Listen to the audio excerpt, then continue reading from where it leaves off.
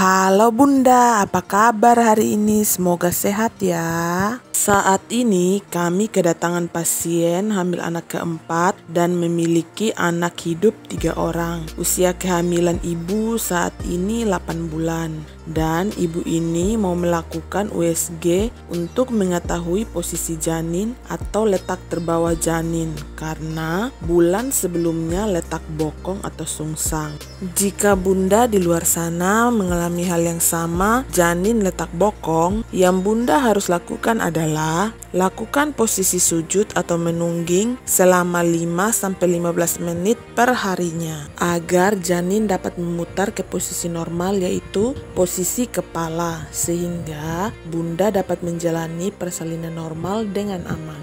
Bagaimana dengan hasil USG ibu saat ini? Apakah posisi janin sudah normal ataukah belum? Simak video ini hingga akhir ya bunda. Terima kasih.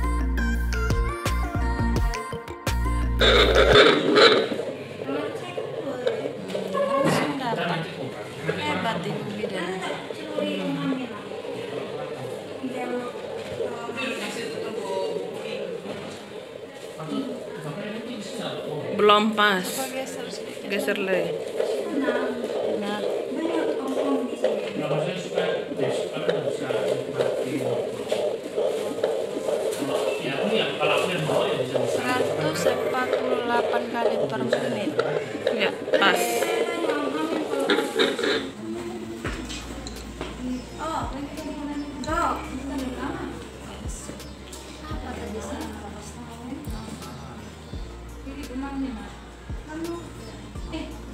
Kepala Pak Dokter ya? Kepalanya sudah dibawa Bu ya. Ma sudah sudah kepala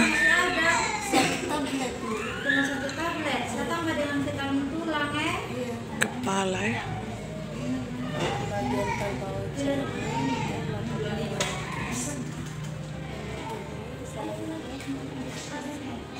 Mampu anak semua lahir normal? Iya, normal. Yang, yang nomor tiga berapa kilo, Bu? Waktu lahir. Ini yang berapa? Yang berapa? Yang ketiga masih ingat nggak berapa kilo? 2,8. Yang pendek. Tingginya berapa? Tan Ah, nggak percaya, Bu. Ayo berulang. Berapa? Masa 154.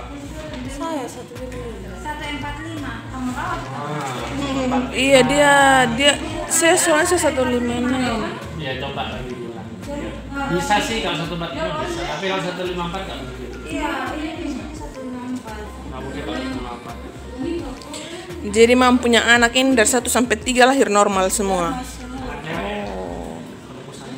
anak perempuan bu. Anak anak perempuan. Maunya anak laki-laki. Iya, satu. Oh iya. Oke. Adit tolong. Coba.